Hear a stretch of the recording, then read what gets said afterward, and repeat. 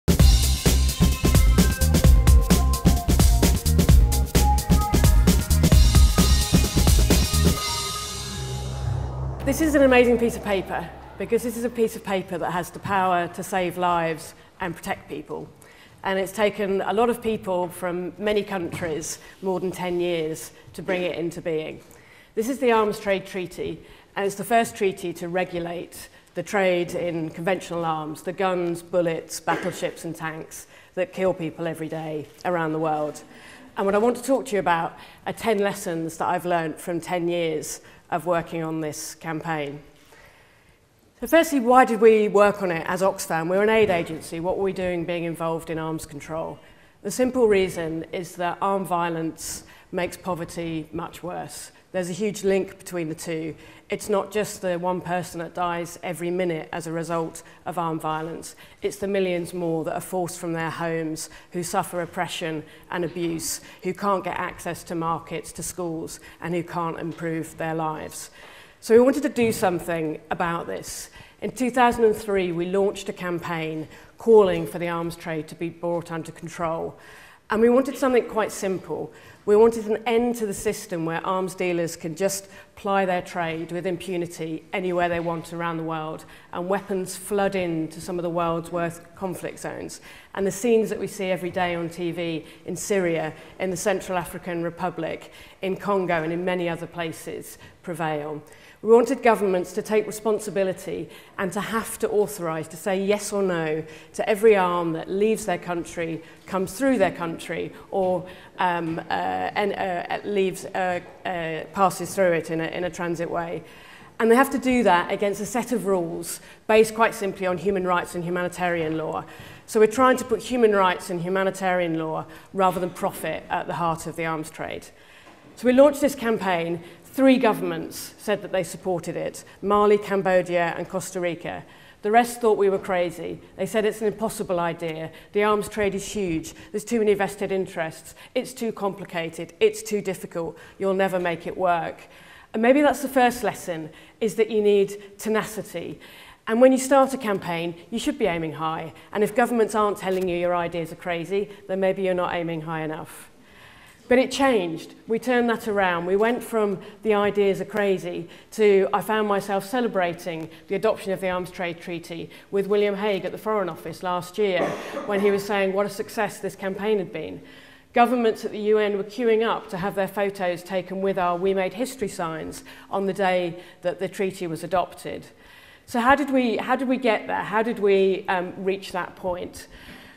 Well, uh, the next lesson, I think, is about getting um, your issue onto the agenda. You need to raise the profile of your, of your topic. We used a lot of campaigning actions, campaigning stunts, to try to draw attention to the problems of the arms trade. We tried to use the weapons themselves, in this case, driving a tank around the streets of London, to call attention to the fact that this was a major problem and that governments needed to act.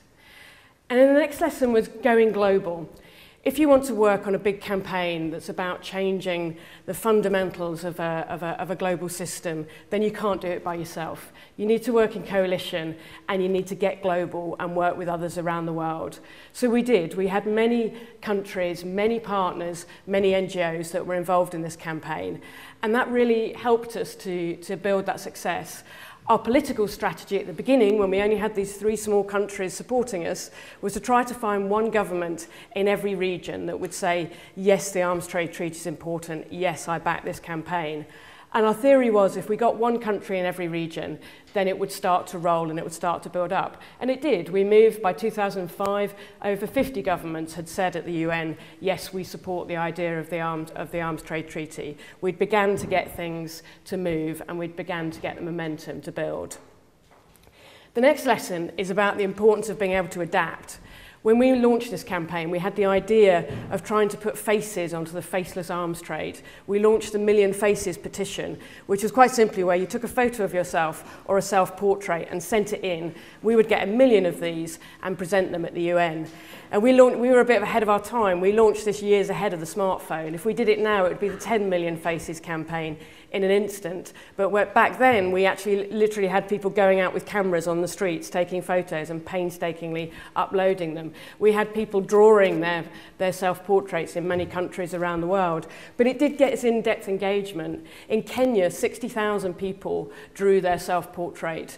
for this campaign. And all of those people had taken part in a workshop or a seminar or an in-depth discussion or were directly affected by the problems we were talking about. So we got a lot of good engagement. But then we adapted as technology changed and as things moved on. We started using social media, we started using Facebook, Twitter and so on, to the extent that our use of Twitter and the hashtag that we developed Arms Treaty became a story itself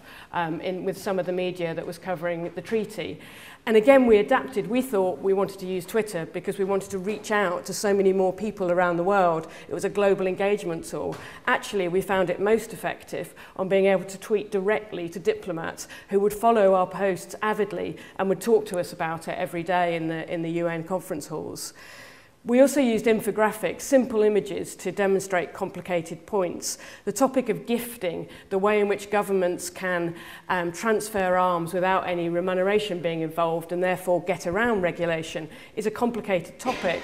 A nice simple graphic like this sums it up quite easily what we're trying to say. And this particular one was reposted many, many times when we shared it.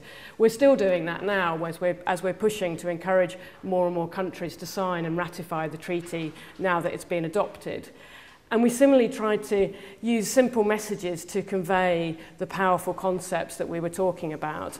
This quote that we used about, isn't it ridiculous that the global trade in bananas is subject to more regulation than the deadly trade in machine guns, was picked up in almost every media centre around the world and was widely quoted in, in many different languages. And it led us to then adapt and use bananas and um, uh, media stunts and activities with bananas as a way to, to get this point across across. Um, the UN themselves started using it. Ban Ki-moon um, spoke about this quote when he welcomed the treaty being, being adopted.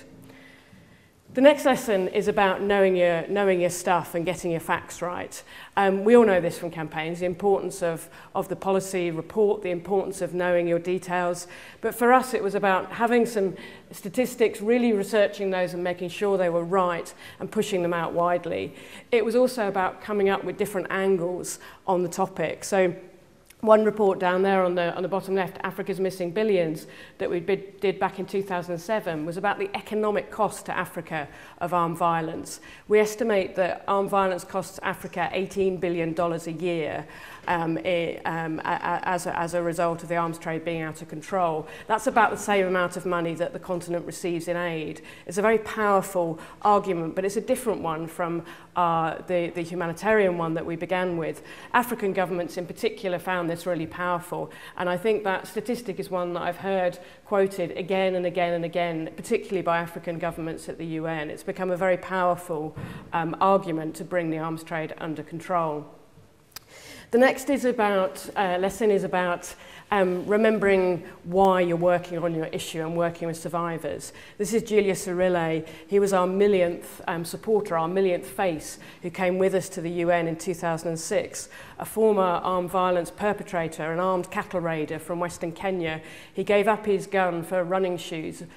as part of an Oxfam peace project. He's now become a, a semi-professional runner. This is him with his medal when he came fourth in the New York Marathon last October October, which is an amazing achievement. But working with him and other survivors who were always part of our teams at the UN and in different conferences around the world was a way that we ensured we were keeping our own message real, but also that they were very much part of our team and part of shaping our policy and messages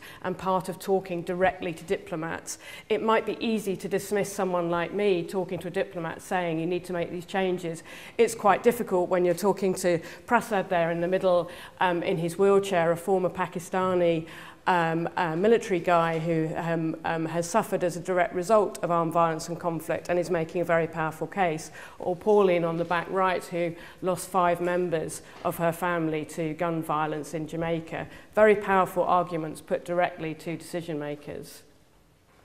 Similarly, we worked with um, public figures, celebrities. This is Jaimin Honsu, from, famous from the film Blood Diamonds and others. Um, him, he, uh, himself from, from uh, uh a heritage going back to Benin. Uh, he talked eloquently at the UN about the trip he made with Oxfam to South Sudan, which brought back his own memories of childhood in Africa, but also um, the suffering that he, he saw. It helped us to exacerbate our message, to, to take it out to a wider audience, as did Helen Mirren, a long-time supporter of the campaign, whom we've worked with for more than a decade. But it's got to be real engagement. If you're working with public figures, then it needs to be public figures who actually do believe in your issue and do really want to be part of it and stay with you.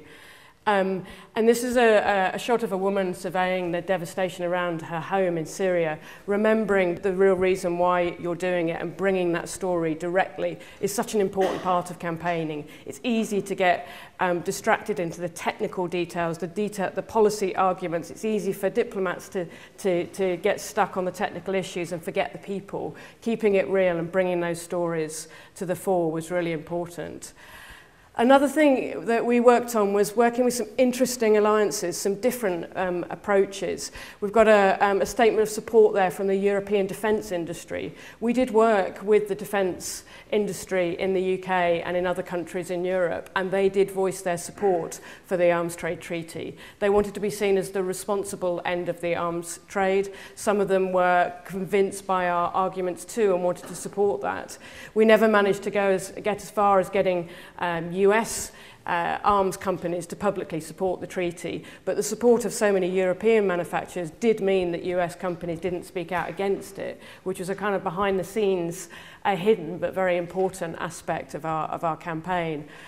Similarly, we work with financial investors who also issued a, a statement of support. Again, the economic arguments. Economic stability comes when you don't have high levels of conflict and armed violence. Uh, we got a statement um, that uh, added together from investors was, were worth $3 trillion dollars um, worth of investment companies put their support behind the Arms Trade Treaty. Again, a different angle which reached out to different governments. And then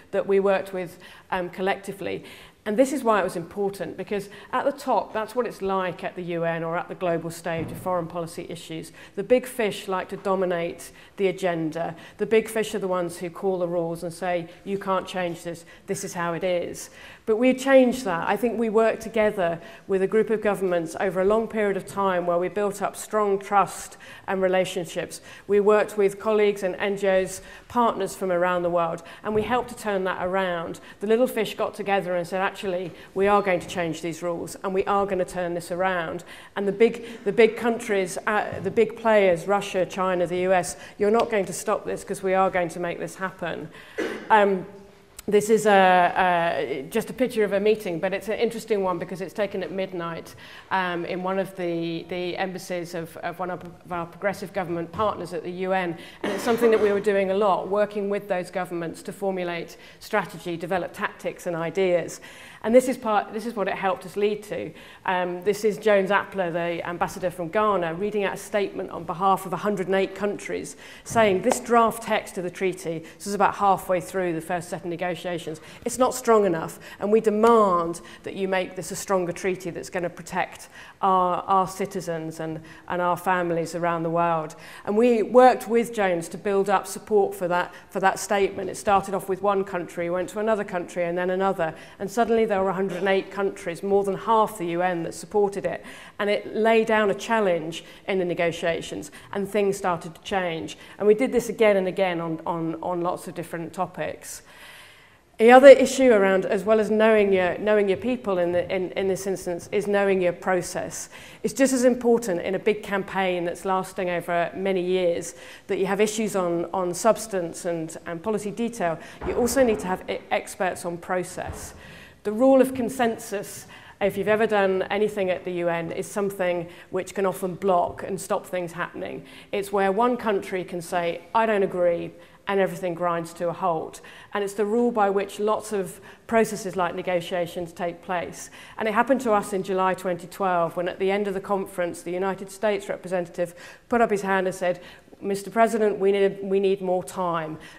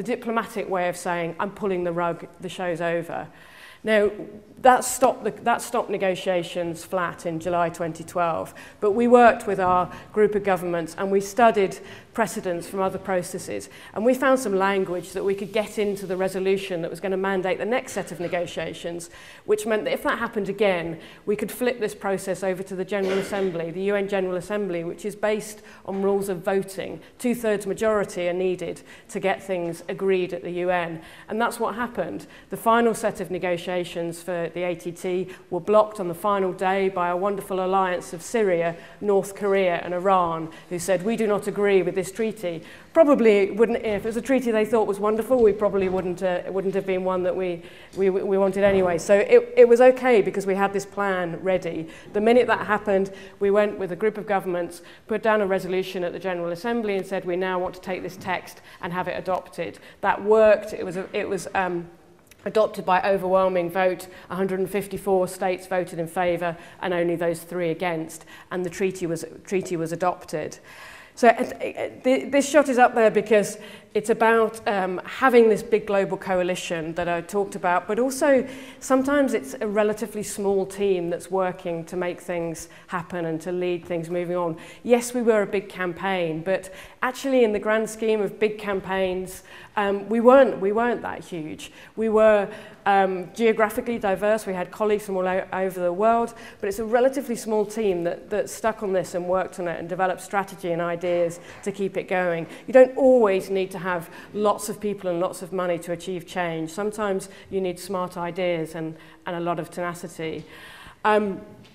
and coming, coming to the end, it's about how you can change um, the, the, the rules of the game, how you can change the issues that are, are seen as important.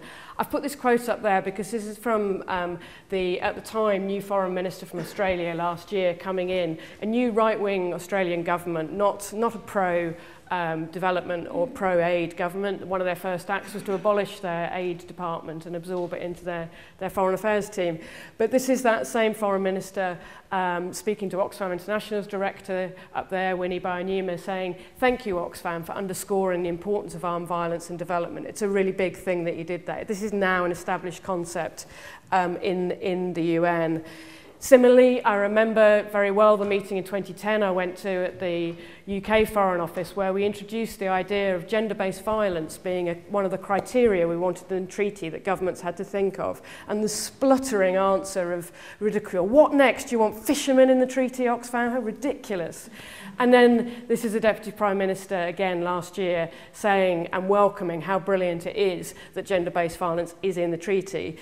And the ATT is the first treaty to specifically include the term gender-based violence within its provisions, that's an important step forward, not just for arms control, but hopefully for other areas that are trying to deal with the important issue of tackling gender-based violence. You can change the rules of the, the rules of the game.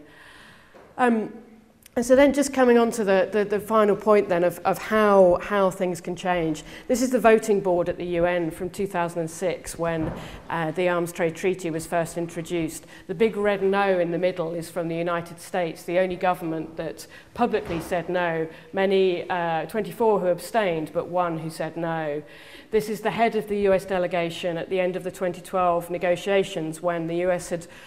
had stopped negotiations. He'd blocked consensus and the media crowd crowding round to ask why, why did this happen? This is our, our colleagues at Amnesty International criticizing the Obama administration for stunning cowardice in stopping this important treaty going forward. And this is the United States um, Senator Kerry signing the Arms Trade Treaty last year. Change can happen. You can make the impossible possible. That is, that's our job. And sometimes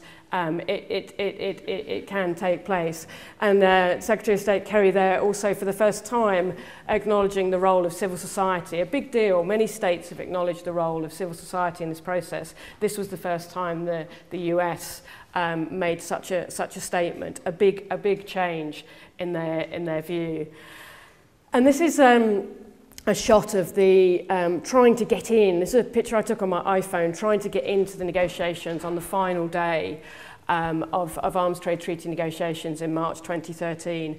And it's significant because thinking back to that first picture in 2003 when we had three governments who supported this idea and the rest who thought it was a, a mad idea and it could never happen when it was impossible. This was every government in the world fighting to get into that room. There were so many of them that there literally were some fights at the door. UN security threw everybody out. They brought the police. They had to set up a second room with TV screens so that things could go ahead. They all wanted to be there. This was such an important day. They were there because the arms trade is out of control and things have to change. Things have to be um, brought under control. They were there because this was an idea whose time had come and enough governments believed it was time to change. And they were there because we made them be there because we kept at this campaign from this initial, initial vision 10 years ago. We didn't let that go and we said we are going to make the impossible possible. And that's the biggest lesson and the most important lesson, I think, is to know your power that for all the difficulties of working on campaigns, the difficulties in working coalition when you have so many different ideas that often clash, the many setbacks there are, the many times that things are blocked and it seems it will never change. You do have power. You can make things move along. and sticking to it, having, having a, being prepared to adapt, being prepared to work with others, being prepared to change your ideas means that you can't just help change um, and move a campaign uh, uh, along. You might just help to change the world. Thank you.